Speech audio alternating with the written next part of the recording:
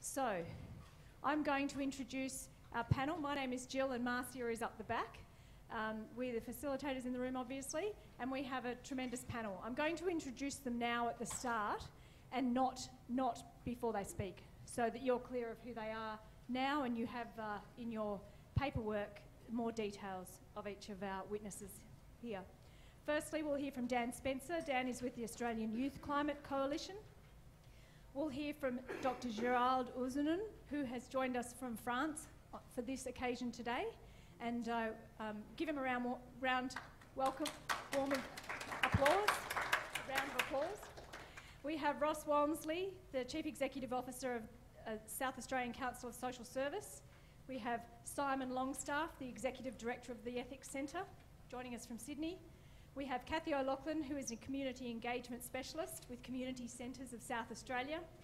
And we have Dave Sweeney, who is a National Nuclear Free campaigner with the Australian Conservation Foundation. So as you can see, we have a terrific lineup of witnesses. We're going to get started, six minutes each, and then questions and answers at the end. So please welcome Dan Spencer. Thanks, Jill, and thanks everyone for inviting me today. Really appreciate you guys all giving up uh, such a big amount of your time to consider such an important question. Um, firstly, I want to acknowledge the Kaurna people, uh, their elders, past, present, and emerging, and acknowledge this land has never been ceded. Um, I also want to acknowledge the trauma, sickness, and loss of country that has impacted many Aboriginal people in South Australia, Australia, and Indigenous people around the world um, in association with the nuclear industry, uh, events like the Maralinga bomb tests. Um, and I also want to acknowledge any Aboriginal people in the room and acknowledge the fact that Aboriginal people throughout this country have consistently said no, very, very clearly, to nuclear waste dumps. And obviously, we've got the session later, so really looking forward to that.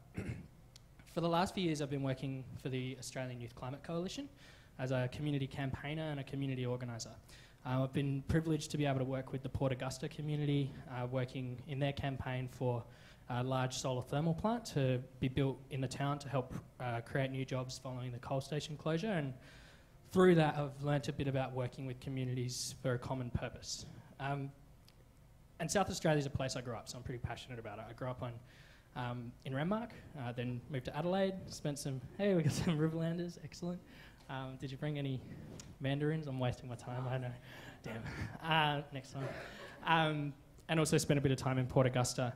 Um, and as a, as a young person, I think, you know, young people do want to be involved in shaping the future of our state. We recognise we've got challenges, issues like global warming, but also employment um, as old industries close. But when I work with young people and workshops I hold, I don't hear them suggesting nuclear waste as the future.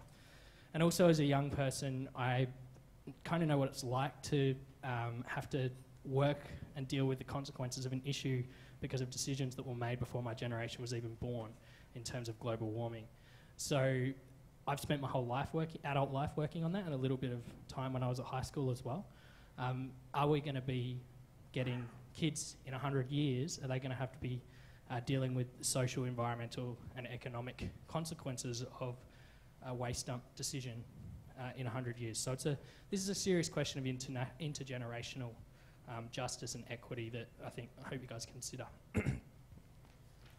but most importantly, um, when we talk about consent, um, I think the consent of Indigenous people is absolutely critical. Aboriginal people have a sacred and irreplaceable connection to this land, and since 2009, this has been recognised by the Australian government uh, through its support of the United Nations Declaration on the Rights of Indigenous People. And this declaration affirms the minimum standards for the survival, dignity, security, and well-being of Indigenous peoples worldwide. Under this declaration, Aboriginal communities have the right to free, prior, and informed consent, and these rights should be upheld by any Australian government, including our state government. So the rights of all impacted communities across South Australia to free, prior, and informed consent must be protected, and most importantly, an answer of no, which means no, has to be respected. The UN Permanent Forum on Indigenous Issues defines free, prior, and informed consent as the following. Firstly, free means there's no manipulation or coercion of the Indigenous people, and the process is self directed by the people who are impacted by the project. Secondly, prior implies that consent is sought sufficiently in advance of any activities being either commenced or authorised, and time for the consultation process to occur must be guaranteed by the relative agents. Informed suggests that the relevant Indigenous people receive satisfactory information on the key points of the project, such as the nature, size, pace, reversibility, scope, reason, and duration of the project. So, when our government talks about consent from traditional owners, local communities, and our state more broadly, free, prior, and informed consent is the gold standard that they have to be held to. In my view, the proposed process for the importation of international nuclear waste and the creation of waste dumps does not respect the rights of Indigenous people or the broader community to free, prior, and informed consent. What's proposed by the Royal Commission is that, the, is that South Australians agree to the importation of nuclear waste before we know where it will be put.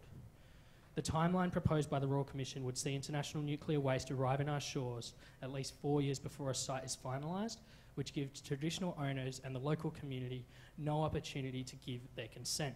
So once we have the waste in our state, we can't send it back, which effectively applies coercion to already marginalised people to say yes to this. And we're not also at the local and state level able to give prior or informed consent because if we don't know where the waste is going to be imported, stored, transported, how can we know the scale of the impacts? I was talking to uh, Adnyamathanha Elder recently about uh, the, the federal waste dump that um, effectively cuts across a Dreamtime songline that, that runs across numerous Aboriginal nations. If we don't know where this site is proposed for, how can we know about those impacts that only certain people know about. So, why hasn't this been built into the process? In my view, it's because uh, the economic modelling of the Royal Commission shows that if we waited until year 15, uh, which is when the site is meant to be finalised, assuming no community opposition, um, the Royal Commission's economic modelling shows that this delay would result in a 40% loss of profit value to the project. And that's in their models, that's not mine. So I think that's you know, the question this jury has to grapple with and what our Premier and our state government have to gra- grapple with. What's more important is that the free, prior, and informed consent of Indigenous people, local communities, and then the broader state, not the state first and then everyone else? Or is it the proposed uh, economic benefits of these projects which stand on shaky ground? Thank you. Thank you, Dan. As um, Gerald comes up and prepares for his talk and you're thinking about your questions, consider those critical thinking aspects of relevance, accuracy, depth, breadth, etc.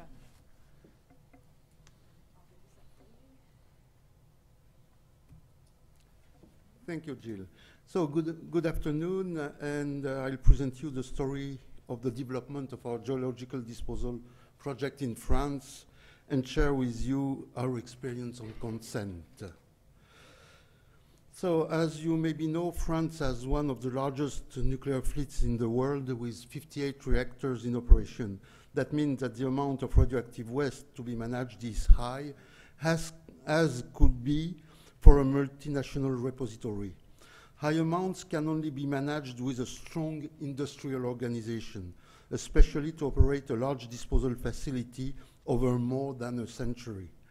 A French strategy in used nuclear fuel management lies on reprocessing. Uh, from the radioactive waste management disposal point of view, the main interest is lower volumes to be disposed of, lower amounts of materials to be used for disposal, and safeguards termination.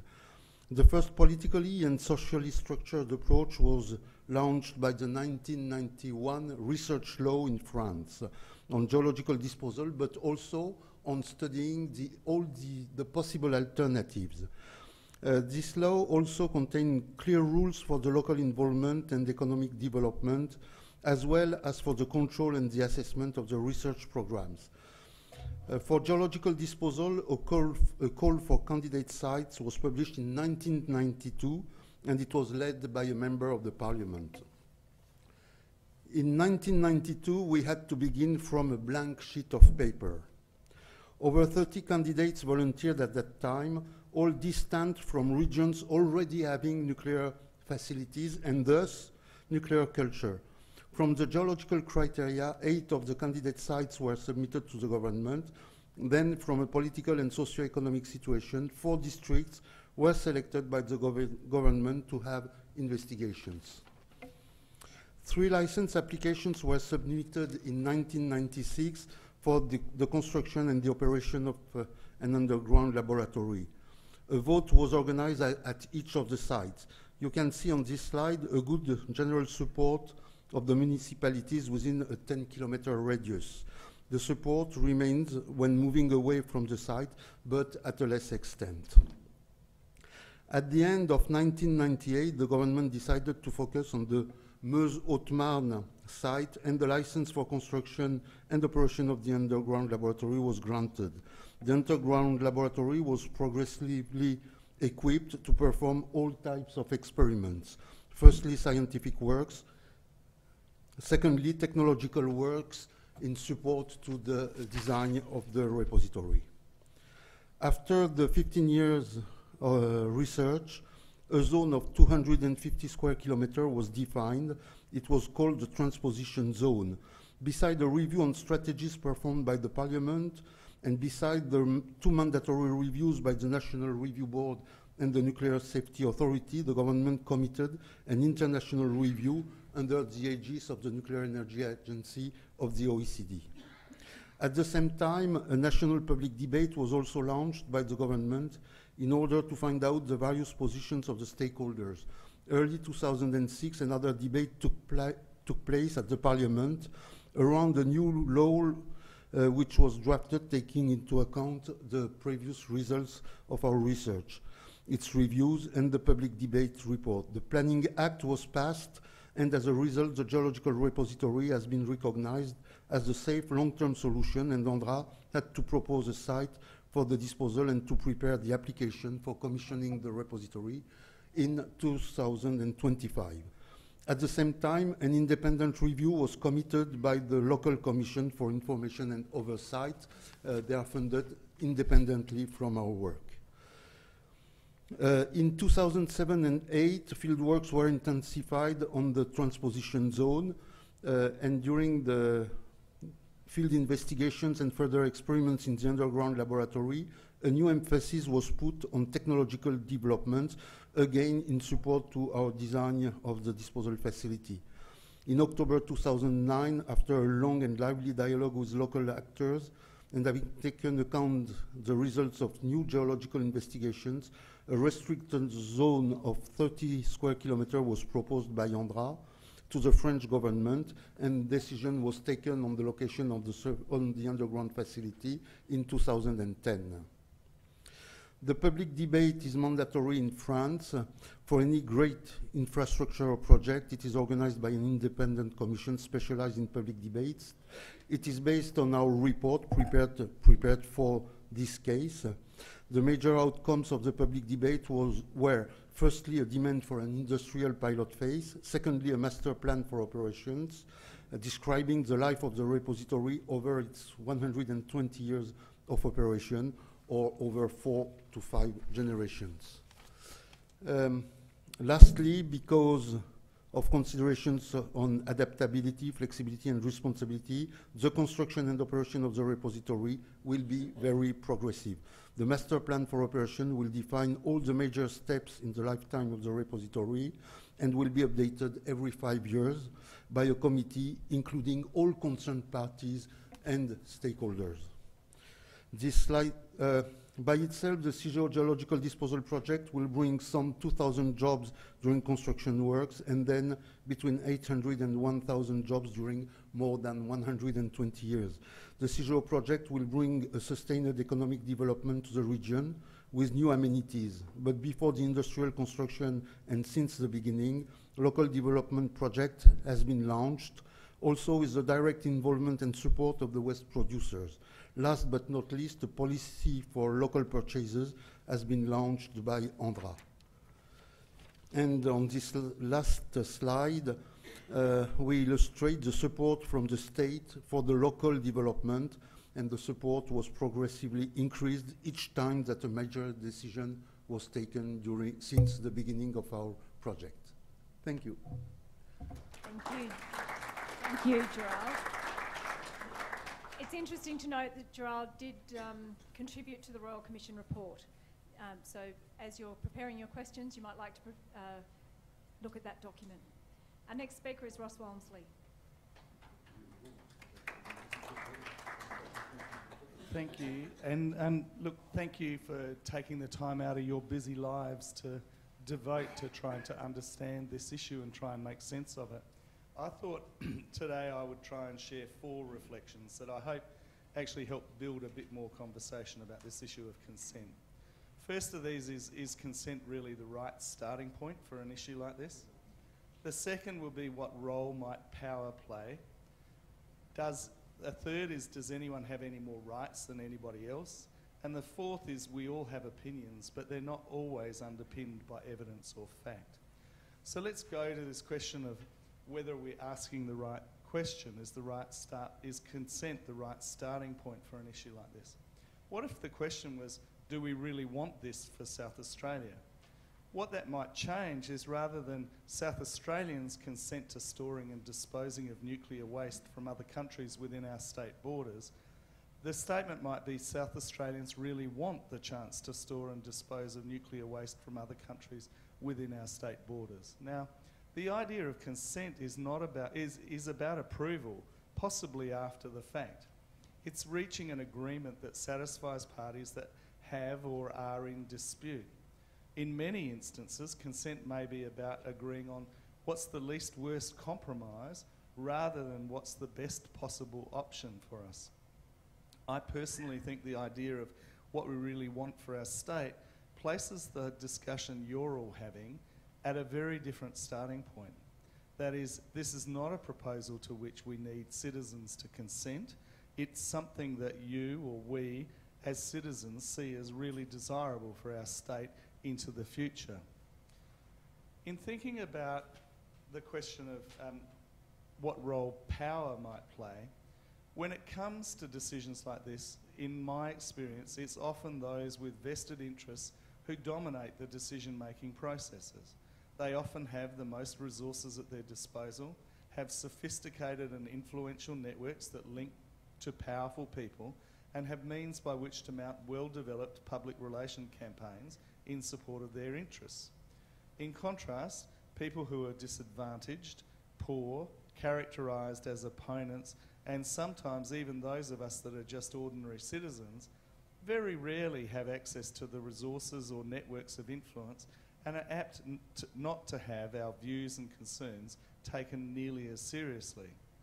Proponents will often lead with exaggerated claims of the likely benefits, and when well resourced, they can actively seek to suppress opposing views using legal, marketing, and political processes to minimise any opposition. On the other hand, opponents will also sometimes exaggerate problems and concerns.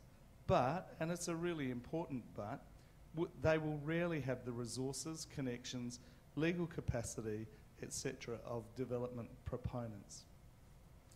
In terms of thinking about the question of does anybody have any more rights than anyone else, I can think of at least three groups who might, who some might argue may have the rights to a greater say in an issue like this one.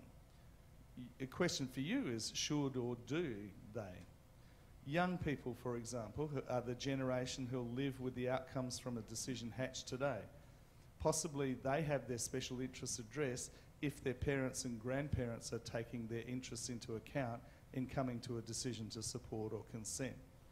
Traditional owners, we really need to think very carefully about how uh, tr- the traditional custodians of the land have their views afforded central importance because these are the people on whose lands any facilities might be built. Communities closest s- to the closest to storage and on transport routes. For these people, the impacts of anything going wrong is likely to be more direct and possibly more intense, and hence they too may have more rights to a greater say. And maybe there are others. If so, I'm interested in thinking about who they might be. I'd just note a caution we should never underestimate the way that we currently devalue young people, and especially adolescents, and our brothers and sisters who are Aboriginal, and note the impact that this has on the way in which we view and respect them. Now, last but not least, is this idea about we all have opinions, but they're not always underpinned by evidence and fact. Most of us are oriented to pursuing self interest, and a fair few of us still operate as NIMBYs. Similarly, when it comes to issues that are complex, just like this one, most of us are undereducated and underinformed and may not ever want to take the time to really build a comprehensive understanding in order to form a conclusive view. Having said that, we still have no end of opinions, possibly about this issue as well, no matter how ill informed or how poorly founded in rigorous analysis or evidence. Often it's those opinions that lead political decision making. For example, despite all the statements about the importance of evidence based practice serving as the foundation of, for where funding is directed in addressing human problems, most funding decisions are made on the back of very limited evidence of efficacy.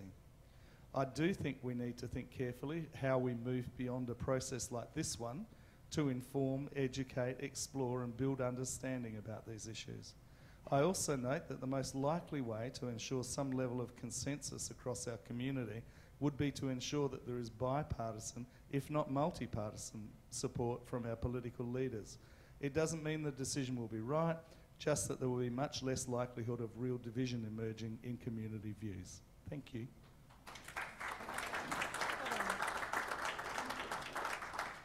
Dr. Simon Longstaff. Okay, I'm just going to add a little bit of philosophical background to some of the things we've already been hearing about. The first thing about consent is that the way we understand it is a relatively modern concept which emerges in about the 16th and 17th centuries and it's attached to a, a core idea in ethics and that is that every single person has intrinsic dignity, that no person is merely a tool or something to be used as stock for some other purpose, that with our intrinsic dignity, we have certain rights which are attached to it, certain liberty rights and things like that, and consent flows from that. So that's the first thing. Think about that intrinsic dignity of everybody. From that, then, you have to reckon with the fact that consent, at least in the way it's been talked about here, is quite narrow in what it grants. It grants a right to say yes or a right to say no. It doesn't give you a grant to place additional conditions, to negotiate, to make other suggestions. And you might ask as a juror then, is consent a broad enough concept to anchor the kind of decision that has to be made at this point? The other thing about consent is that it ties very much to questions of legitimacy. And issues of legitimacy vary from culture to culture. So, for example, in Indigenous society in Australia, although it's often difficult to generalise, it's quite common to find that when it comes to speaking for a particular piece of country, it's the traditional owners themselves that have the ultimate authority. You might see a land council or a regional or a state or a national body that talks about Indigenous issues, and they're often created to fit in with our way of coping with these things. But typically, they will not have a legitimate voice for that particular piece of country. Whereas in another part, in a farming community, it might be a different decision making basis which confers legitimacy. So, one of the questions you might want to ask is when I think about consent, is it just a single standard which counts as adequate consent, or do I need to take account of the relevant cultural differences that exist within the state and the nation? We've heard about the gold standard, free, prior, and informed consent. I won't go back over that except to say that that is not just the standard for Indigenous people, it's the standard for everybody.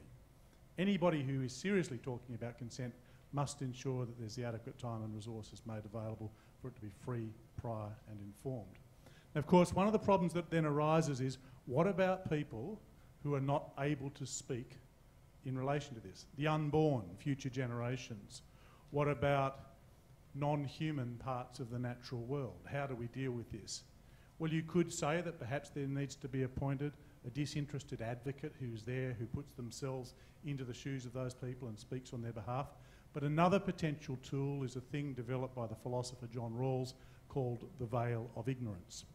And under the veil of ignorance, what it asks everybody making a decision to do, including potentially you as jurors, is to say, now when I think about this, I must imagine what I would decide when I cannot know who I will be when born into the future. I might be one of the lucky few born into wealth and power and privilege, but I could also be born into the most marginal position in the world. I might be born close to a facility or a long way away. Not knowing what would I think was a reasonable basis to decide.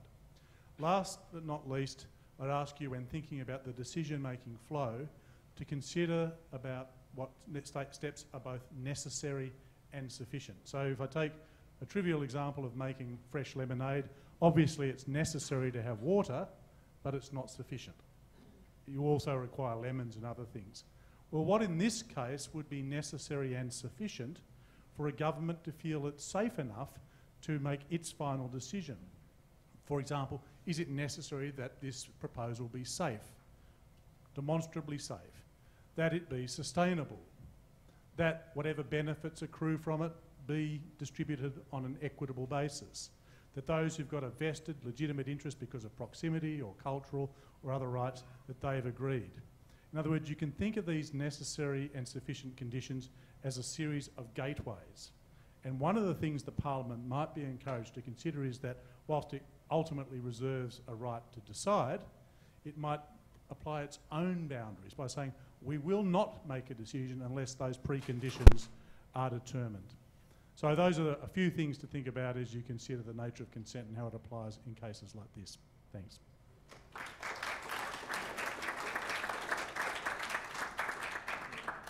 Thank you, Simon. Please welcome Cathy O'Loughlin. Um, thank you, and I'd like to thank you all for the invitation to speak here today. Um, I'd also like to acknowledge that the land we're meeting on today is the land of the Kaurna people. Um, I'm here representing 103 community and neighbourhood centres across the state who support approximately 4,000 volunteers with over 35,000 people who access the centres weekly. Consent is about community members having a voice, allowing them to become determinants of their own future and to develop autonomy. Community members should be involved in decision making. They should determine what affects their future, their environment, and their community. This creates joint ownership, investment, and a feeling of being recognised and valued. We should engage with community members of all ages and cultures. We should value the importance of what diversity can bring. For example, as it has been previously mentioned, have all ages given their, dissent, uh, their consent. The decision doesn't just affect us, it affects our children and their children and their children. Recognition of cultural customs and beliefs play a significant part in how people from different cultures feel how they interact and participate, therefore, in how they are able to have a voice and give consent. Has there been networking with elders groups, leaders of cultural groups that are situated within specific communities? Has there been consultation in rural communities where members live who, and who this might affect? My thoughts on the consent pathway and the go no go point is to ask yourself the following questions. Will there be ongoing engagement and consultation the whole way through the process and the project, or is it just going to occur before the decision is made? What are the existing ways of engagement, specifically for diverse groups of people? For example, those who have low literacy and numeracy, or those from a different culture, or those of different age brackets? And is this representative of all of our community? Are people going to communities rather than having the expectation that everyone should come here? What are the timelines and expectations? Have diverse groups been able to work at their pace without time pressures from government? Have existing relationships and networks been consulted with and recognised throughout the process? Has enough time been given for people to be, give informed consent? For example, those who can't read when all the literature is done, all the information is handed out in a written format, maybe longer, need longer time to actually understand what's happening. Or are people saying yes because they see that it is a way of pleasing us or feeling that they belong and are going to be accepted without understanding fully what they are saying yes about? Who is this project going to affect the most and what is their perspective and have they given form, informed consent? And has the process and engagement been ethical? I would also ask you to consider how do you consult and give consent in your own life, both personally and in your work life? What tools do you do? What information do you require? And does that process work for you? Thank you. Thanks, Cathy. As our final speaker comes up, you can start to think about the questions that you want to ask in the Q&A session. Uh, I'll introduce Dave Sweeney, our final witness. Thanks very much, Jill, and thanks for the opportunity to be here today. It's a, it's a very important forum, and you're faced and tasked with a very important role because uh, this is effectively a forever question. What is being proposed here is not a standard industrial or economic activity. It is an activity that sterilises future options and that can hardly be revoked. So that's why social consent is so pivotal. And that's not just my view as, as a person who works. I've, I've worked for 30 years in this sector, nuclear policy and politics in Australia, wearing a variety of hats in a variety of places, working with government and against government, working with communities, and engaged in a whole range of exercises and activities. The last 20 years of that 30 years has been with the Australian Conservation Foundation. It's our view that community consent is absolutely pivotal, but it's not our view. Don't take our word for it. It's the international experience, and there is a body and a growing body of international documentation, study, and re- research. I can't overstate, and I'd really like as a key message to take away from this forum, that consent is not a feel good. It is not an optional extra, it's not a middle class urban affectation. Consent is a fundamental to the process. Uh, that's been noted in the Royal Commission and it's been noted in international experience. Without social consent, there's no social licence. Without social licence, projects don't work. We've seen that. And that's recognised clearly in economic, uh, rather in uh, academic and international papers. They talk about the importance of community consent, the need to take time, the need for transparency, the need to build trust, the need to recognise that no is a legitimate response. It's not vexatious, it's not uninformed, it's not emotional, it's a legitimate position. And experience has shown this is uh, fr- citing from the European Union nuclear decommissioning best practice guidelines that experience has shown that without consent, nuclear waste facility will sooner or later be cancelled, stopped, or indefinitely delayed, one way or the other. And we've seen that. We've seen that in Yucca Mountain in Nevada in the States, where they spent 10 billion US dollars before they pushed the pause button on that project. We've seen it in Gorleben. I was at Gorleben and talking to people last month and there's been massive community protest and opposition, and they have now, that's now led to a new siting procedure, a whole new siting procedure happening. That's in Germany. I picked those two of the multitude of examples in this trade internationally because Germany and the US have an existing nuclear industry. They have deep pockets, they have high levels of technical and financial capacity and resources. And both of their programs have come up on the rocks, or at least on the pause button. Something very serious to consider here. This is being promoted as an economic activity, but there are so many uncertainties. The situation of complexity, cost, contest that is characterised this sector internationally has also characterised this sector in relation to our own reasonably modest national process. There has been for 20 years attempts by successive federal governments to impose a national facility on remote or regional communities. Many in South Australia, I note crew here in this process and in this state who have stood up, Aboriginal people at Coober Pedy, people in the Northern Territory at Muckaty, and now that process, which has not enjoyed community support, which has seen contest and legal challenge, political protest and on the ground protest, what it's meant is for 20 years, we still don't have a site.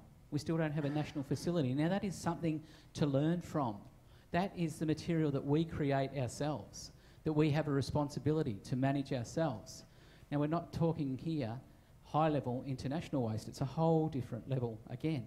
And that's recognised in international documentation, and Australia needs to be mindful about compliance with international obligations. And I'd cite most importantly the UN Declaration on the Rights of Indigenous People, which states that there shall be no storage or disposal of hazardous materials without free prior and informed consent. Now, Dan and Simon and others have made the have spoken about free prior and informed consent.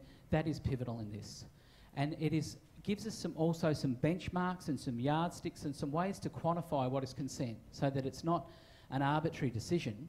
It actually has some procedural marker points, and we need to comply with that. And I would posit that Aboriginal people, many of them, and I urge and look forward to the next session, many Aboriginal people have clearly made their opposition clear. What we need to do and consider, and what I'd urge you to do and consider, is in your deliberations to ensure that when we talk about consent, we recognise that it doesn't become a process where yes means yes and no means not yet. We need to recognise, respect, and reflect people's right to say no. Because if you can't say no, if you haven't got a right to say, to say no, you've never really said yes. And it's really important to, to represent that, that integrity of process and that integrity of outcome. And I would uh, just say that consent cannot be achieved by attrition, by resignation, by, by manipulation. It takes time, it takes trust, and it takes transparency, and particularly when the stakes are as high as they are in this discussion and in this consideration. So I wish you great success, and I'm open to any questions now and into the future, but this is such a significant decision, and the consent factor and the right to say no is so pivotal. Thank you.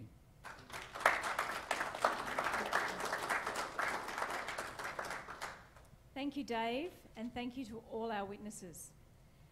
I'm going to give you two minutes now to turn to the people around you and really distill some questions that you want to ask. Please make them questions, not statements, and please make them clear and succinct, and we will get through as many as we can. Two minutes.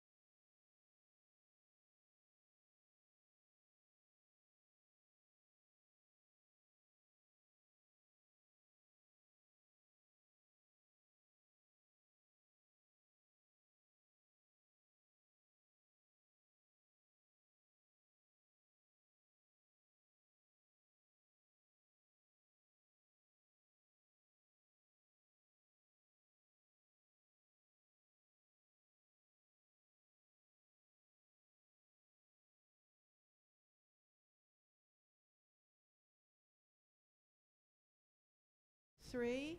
One, two, three. What happened? That's barbecue. It's all blokes. Think about it, ladies. All right, here we go. This is a quick question. Well, it can't be quick, but it's to Ross to convert, and it's to everyone really, to convert your philosophy into psychology. And that's 16, year 1600 that you used as a yardstick. I would argue Western society is turning into an individualistic, society and leaving the collective knowledge behind and becoming more rational. Now, the well, the question is, can we use your philosophy as a psychology rather than a philosophy? Uh, you can certainly reflect on that and bear in mind that not all cultures adopted that individualistic approach.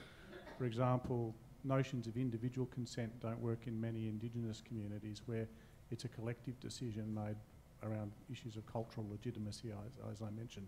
So yes, you can, but the thing to do about it is to reflect on those sources and see what they mean rather than just take it for granted. And I think that's the implication of your question. Hello, my name's Fuzzy Trojan. Um, I've been thinking about the headline that's going to be in the paper after we finish our deliberations. And it seems to me the most likely one is Citizens Jury gives green light to further investigation. And that sort of suggests that we're in favour of it when we may not be. What do you think? Well, I think I think it's in your hands. um, there's there's every possibility that that might be the case, um, but it's really in your hands now to work out. And I, I would encourage you to think about, in particularly in the context of consent, some of the stuff Simon was saying around conditional consent and whether there are a series of conditions that you might want to set in place in order to um, be confident that something should be advanced, which might compete with that. I think that's really interesting, um, and I think it fits into my sense of the yes means yes and no means not yet. Um, framing is, is vital, um, and I'm never one to take away agency of a community. I think so much is in your hands as jurors in this process, and push on that. But at the same time, it's not. It's not in the hands. You're not the edi- edi- editor of the Adelaide Advertiser. I think that what the headline should be, predicting, is the jury's still out. Hi, my name's Peter. My question is actually for the whole panel. Um, assuming that there is free, prior, informed consent from the majority of the population and taking into account the conditions associated with particular groups within the population, so specifically the Indigenous, uh, our Indigenous uh, brothers, should we then apply the democratic principle of majority rules?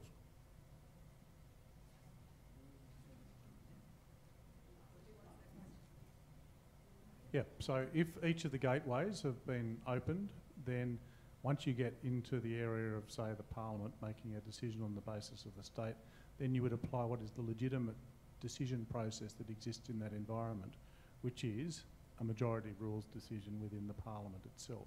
So, but the point is, will the Parliament accept to bind itself to the point that it won't exercise that process until those gates have been opened? That's the, really the threshold question for the jury in terms of the decision-making process, whether it sits on that. Once you, and, and, and that, what I'm saying is not selectively applied for the Parliament. Equally, there'll be a legitimate decision-making process for somewhere else where the gate is. It's got to be done in its own particular way. So you shouldn't look for uniformity. You should look for what is legitimate in each particular context. If all gates are open, then it has its final say at that point. Uh, my question is to Gerald.